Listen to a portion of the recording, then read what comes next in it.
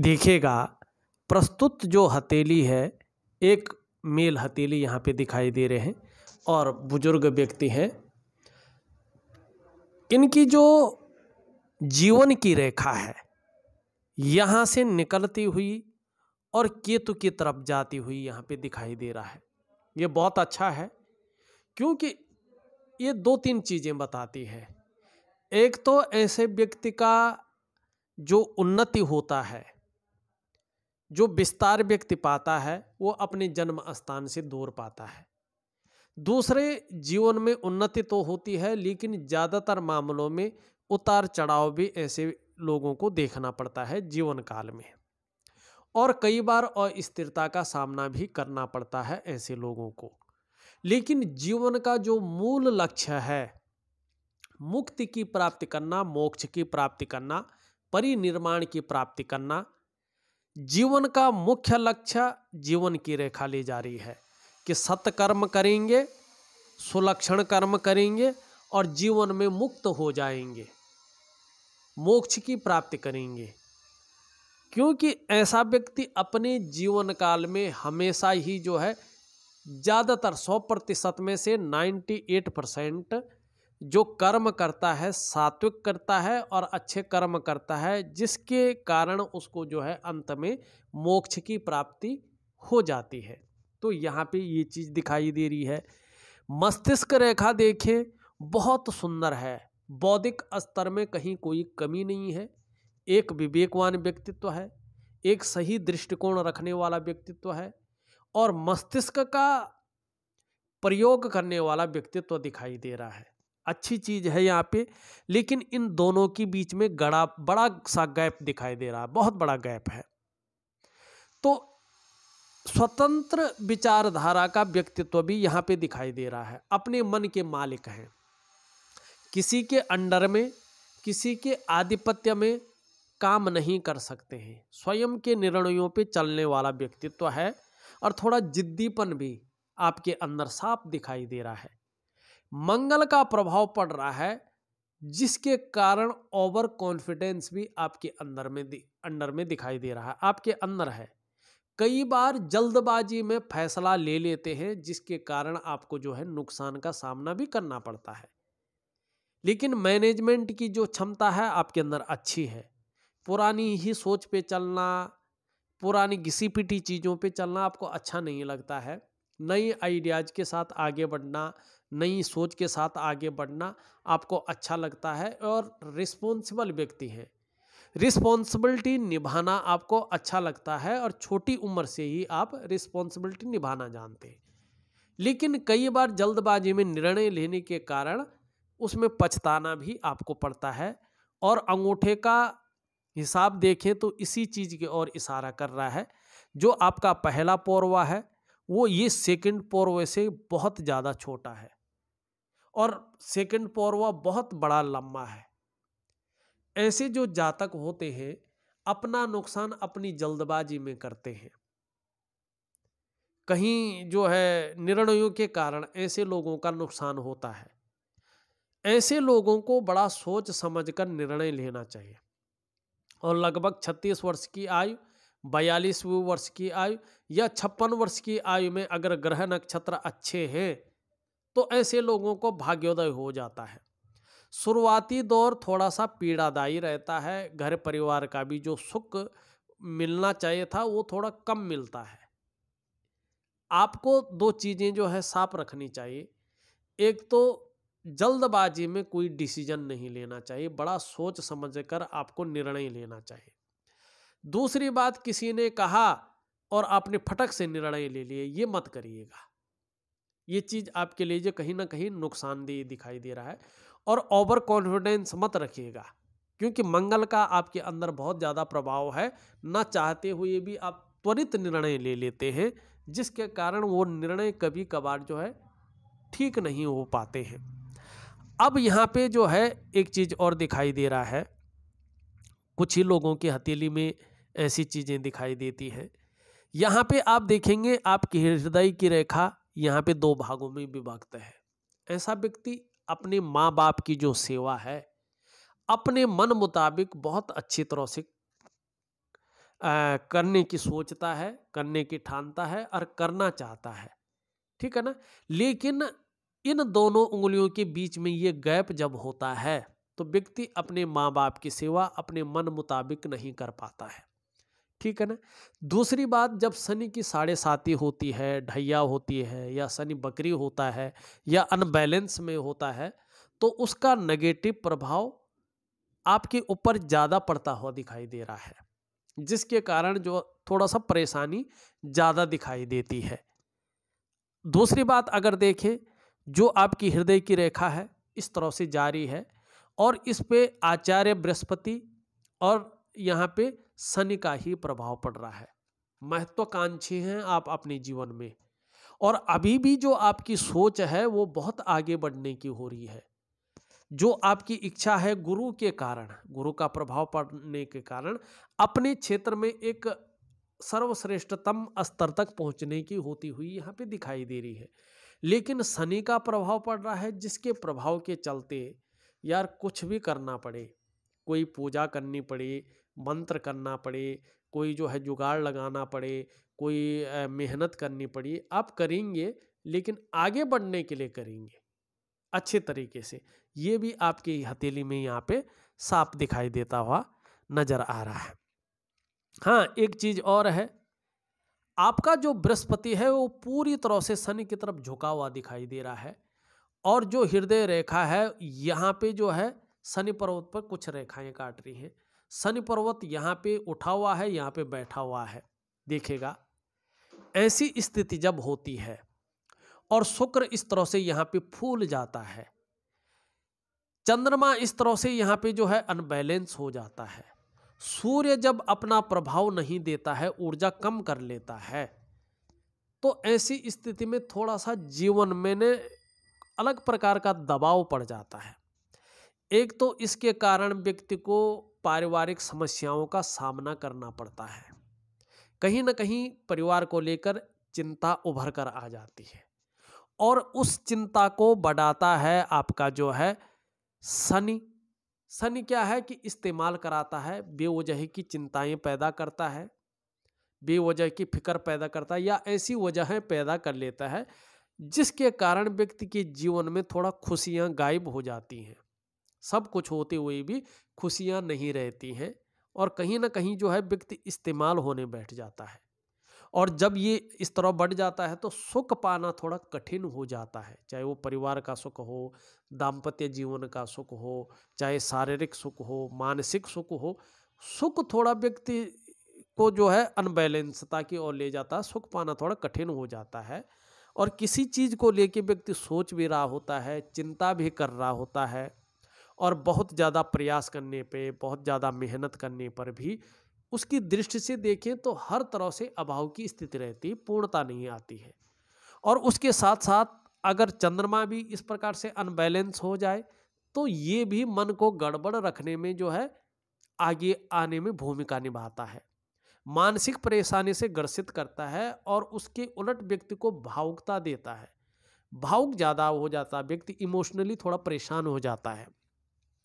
और जिसके कारण मन अच्छा नहीं रहता है और मन से सीधा जुड़ा हुआ होता है हमारा डाइजेस्टिव सिस्टम।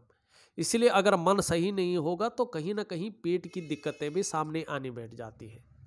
और नींद आने में भी विशेषतर जो है समस्याओं की संभावना दिखने बैठ जाती हैं और शरीर का जो हार्मोनल सिस्टम है कहीं ना कहीं वो भी अनबैलेंस होने बैठ जाता है। साथ में अगर आपका सूर्य भी इस प्रकार से बैठा हुआ हो तो ये निश्चित हो जाता है कि आपकी जो शारीरिक चक्र हैं, वो सूर्य के चक्रों के साथ तालमेल में नहीं है और उसका प्रभाव आपके आँखों पे पड़ सकता है। आँखें कमज़ोर हो सकती हैं, चश्मा वगैरह लगाना पड़ सकता है। आपके शुक्र इस प्रकार हो, सूर्य इस प्रकार हो तो आपके पेट पे पड़ सकता है। कहीं ना कहीं जो है आपके जो है शरीर में विकार उत्पन्न होने बैठ सकते हैं। और जो आपके प्रयास हैं, जो आपके जो है सहजता से जीवन चलना चाहिए, जो आपकी मेहनत है, आप किसी के लिए कितना भी कर लो, लेकिन यश की प्राप्ति नहीं दिखाई देती है। आपकी जो मेहनत है, जो प्रयास है, वो पूर्ण सफल नहीं हो पाते हैं। आप मेहनत कर रहे हैं, प्रयास कर रहे हैं, उसका पूरा क्रेडिट, पूरा श्रेय आपको नहीं मिल पाता है। अगर आप कोई काम कर रहे हैं, उसमें कोई विस्तार, फैलाव मिलना थोड़ा कठिन हो जाता है। ग्रोथ मिलनी थोड़ी कठिन हो जाती है। एक सही तरीके से जो रास्ता मिलना चाहिए था दिनचर्या थोड़ा सा गड़बड़ा जाती है। आपको, आप कितना भी अच्छा करो किसी के लिए, उसका जो यश की प्राप्ति होनी चाहिए थी, जो सुख, सहजता से मिलना चाहिए था जो मानसिक स्थिति परफेक्ट होनी चाहिए थी, जो शारीरिक स्वास्थ्य परफेक्ट होना चाहिए था, जो जीवन सहजता से चलना चाहिए था, उसमें बाधा आनी शुरू हो जाती है। तो सूर्य क्रिया अगर आप करते हैं तो इस चीज़ में आपको जो है ज़रूर फ़ायदा मिलेगा। भाग्य स्थान अच्छा होगा तो भाग्य का साथ मिलेगा। शुक्र का स्थान अच्छा होगा तो तनाव की स्थिति नहीं रहेगी।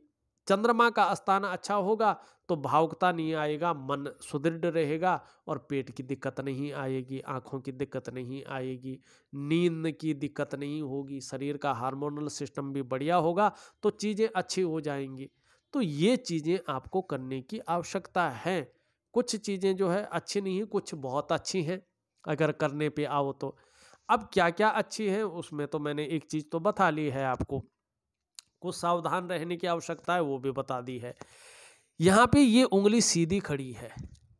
इसको हम कहते हैं बृहस्पति की उंगली।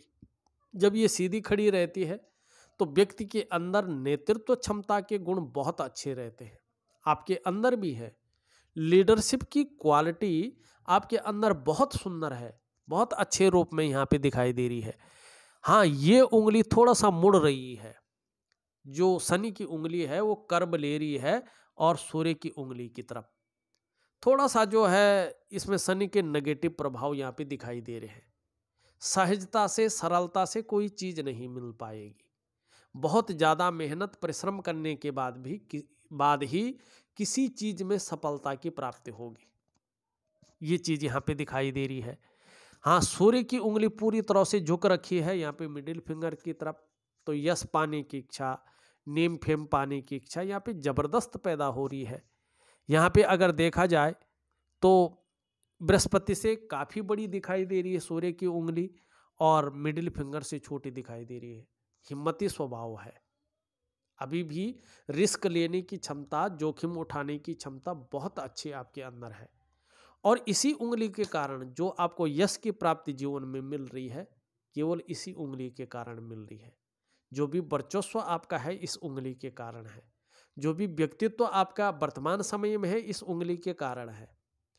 और जो भी मान, प्रतिष्ठा, सम्मान है, केवल और केवल इसी उंगली के कारण है, इस सूर्य के कारण है। आपको चाहिए इसमें और निखार लाएँ आप। यहाँ पे अगर देखा जाए तो सबसे छोटी उंगली पूरी तरह से कर्ब ले रही है, इस उंगली की तरफ़। तो धन कमाने की ललक अभी भी बनी हुई दिखाई दे रही है। लेकिन यहाँ पे इसके पहले पूर्व तक नहीं पहुँच पा रही तो मनी मैनेजमेंट में, कागजों के रख रखाव में अकाउंटेबिलिटी में कहीं ना कहीं कमी दिखाई दे रही है। हाँ मनी मैनेजमेंट में नहीं है, क्योंकि यहाँ पे एक शानदार मनी ट्रैंगल जो है, बनता हुआ दिखाई दे रहा है। तो मनी मैनेजमेंट में कहीं कोई कमी आपके अंदर नहीं है, इस बात की ओर जो है, ये इशारा कर रहा है। आपके अगर हम मस्तिष्क रेखा देखें तो मैंने बता दिया है जीवन रेखा के बारे में भी आपको बता दिया है। एक रेखा इस तरह से जाती हुई दिखाई दे रही है। ये रेखा व्यापार की रेखा है। ये व्यापार में अचानक बहुत बड़ी सफलता देती है। अगर आपका सूर्य और शनि अच्छा हो और शुक्र अच्छा हो, अगर व्यापार कर रहे हैं आप, बहुत बड़ी सफलता आपको आने वाले समय में मिलेगी, ये यहाँ पे दिखाई दे रही है। करियर और धन की रेखा इस तरह से जाती हुई दिखाई दे रही है। एक रेखा यहाँ से काट रही है, यहाँ पे। देखिएगा, एक चीज़ का और ध्यान रखिएगा। वैसे आपका हाथ यही बता रहा है कि जल्दबाजी में निर्णय न ले और भावनाओं के बसीबूत होकर निर्णय न ले। इसका कारण आपको जो है नुकसान झेलना पड़ सकता है। वैसे अगर यहाँ पे देखें, एक शानदार त्रिभुज बन रहा है और ये त्रिभुज बहुत कुछ आपको देगा जीवन काल में, ये यहाँ पे निश्चित तौर पे दिखाई दे रहा है। एक रेखा आपकी इस तरह से जारी है। थोड़ा सा इसमें जो है, शुक्र का प्रभाव आ रहा है तो लापरवाही के गुण से आपको बचना होगा। ये लापरवाही के गुणों को देती हुई दिखाई दे रही है। लेकिन इस रेखा की वजह से आपको दूसरों का सहयोग जो मिलता है, वो गजब का मिलने वाला है। जीवन में ईश्वर की जो कृपा है, वो बहुत अच्छी रूप में आपके अंदर है। चाहे भौतिक रूप से कुछ मिल रहा है नहीं मिल रहा, ये अलग बात है।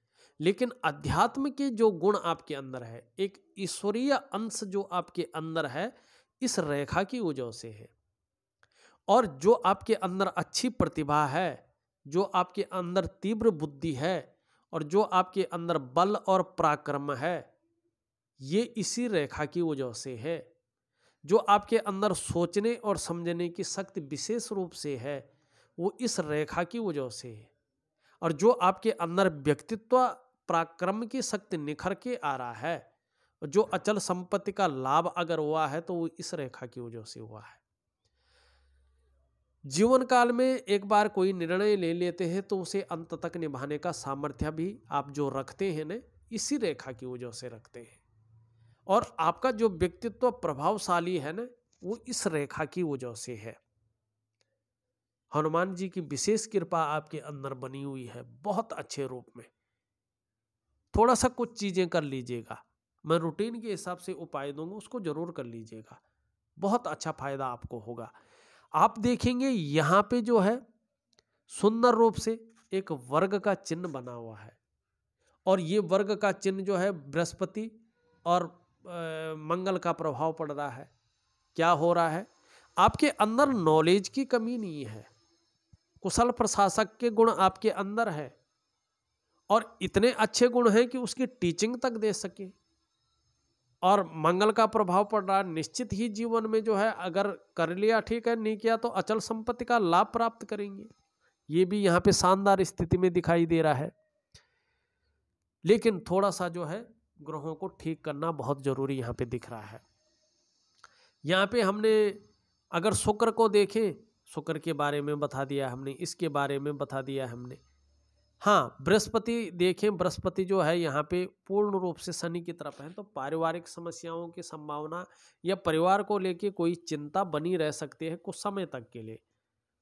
और थोड़ा ये साधारण भाव में अभी बैठे हुए हैं तो थोड़ा साधारणता दे रहे हैं। तो इस चीज़ से उभरने के लिए आपको जो है, थोड़ा दिनचर्या को जो है ठीक करना पड़ेगा आपको। और उसके बाद जो स्थिति आ रही है, यहाँ से एक रेखा जाए, सूर्य की तरफ़ जा रही है और एक रेखा इस तरह से जाती हुई यहाँ पे त्रिकोण बना रहा है। निश्चित रूप से आप मानिएगा, कहीं ना कहीं अगर आपके ग्रह नक्षत्र इन अठारह महीनों में अपने स्थान पे आ जाते हैं तो मान, पद, प्रतिष्ठा, यश में वृद्धि होगी और कहीं ना कहीं आपको किसी न किसी रूप में, चाहे आंशिक रूप से मिले, सरकार द्वारा लाभ की प्राप्ति होगी। सरकार द्वारा लाभ की प्राप्ति होगी और धन में वृद्धि होगी। धन में अगर अभी कितनी भी कमी हो, धन में वृद्धि होगी, यश में वृद्धि होगी। और जीवन में कहीं ना कहीं अध्यात्म के क्षेत्र में आप बहुत ज़्यादा आगे बढ़ जाएँगे, ये निश्चित है। लेकिन दो तीन चीज़ों का ध्यान रखिएगा। जल्दबाजी में डिसीज़न मत लीजिएगा। ओवर कॉन्फिडेंस हो के डिसीज़न मत लीजिएगा। और बहुत ज़्यादा चिंता मत कर लीजिएगा, अपने को भावुक मत बना लीजिएगा। और थोड़ा सा जो है, आपका बुद्ध जो है, जिस रूप में है, जो आपकी मन की इच्छाएँ गहरी बैठी हुई हैं, उनकी पूर्ति के लिए बुद्ध को ठीक कर लीजिएगा। हरी सब्ज़ी है, हरी दालें हैं हरे फल हैं, उनका ज़्यादा सा ज़्यादा आप सेवन कर लीजिएगा। और दो पत्ती तुलसी के संडे को छोड़ करके ब्रश करने के बाद खाली पेट कुछ दिन तक खा लीजिएगा। और एक चंदन के खुशबू वाला परफ्यूम आता है, अगर एलर्जी नहीं है तो नहाने के बाद तीन महीने तक अपने बदन पे वो डाल दीजिएगा। और गायत्री महामंत्र का जो है, बोल बोल कर यथाशक्ति पाठ कर लीजिएगा सुबह और शाम के समय। और सूर्य क्रिया योग ध्यान की क्रिया कर लीजिएगा, बहुत बड़ा फ़ायदा आपको होगा। आप देखेंगे छः से सात छः से आठ महीने करने के बाद इसके परिणाम बहुत अच्छे आपको मिलने शुरू हो जाएँगे। और जो इच्छाएँ हैं आपके अंदर कहीं ना कहीं उनकी पूर्ति होती शुरू हो जाएगी और जीवन में एक सुखद माहौल, जो सुख का भोग आप नहीं कर पा रहे हैं, उस सुख का भोग आप करेंगे और व्यक्तित्व पूर्ण रूप से निखर करके आ जाएगा। जीवन में सब कुछ होते हुए भी खुशियों में कमी होना सबके लिए सब कुछ करते रहने पर भी अपयश की प्राप्ति होना, चीज़ों में अड़चन आना, चीज़ें होते होते रुक जाना, ये कुछ ग्रह हैं और उसके कारण जो है तनाव की स्थिति, सुख की पूरी प्राप्ति ना होना, ये चीज़ें दिखाती है। हथेली बहुत अच्छा है, एक सकारात्मक दृष्टिकोण लेता हुआ व्यक्तित्व है, एक अध्यात्म की ओर जाता हुआ व्यक्तित्व है, एक अच्छा पौरुषत्व अच्छा व्यक्तित्व की ओर जाता हुआ आपका जो है व्यक्तित्व दिखाई दे रहा है। तर्क शक्ति बहुत सुंदर है। बोलने की शक्ति बहुत सुंदर है। अपनी बात को यथावत स्थिति में रखने की शक्ति है। लेकिन कहीं ना कहीं जो है आपका बुद्ध कमज़ोर यहाँ पे इस रूप में दिखाई दे रहा है। तो इस चीज़ को ठीक करिएगा। देखिएगा, मैं पूरी जो क्रियाएँ हैं, वो लिख करके और ऑडियो के माध्यम से आपको भेज रहा हूँ। करने की आप कोशिश करेंगे, बहुत अच्छा परिणाम आपको मिलेगा। इस वीडियो में बस इतना ही। एक नई वीडियो के साथ पुनः उपस्थित होऊँगा तब तक के लिए नमस्कार।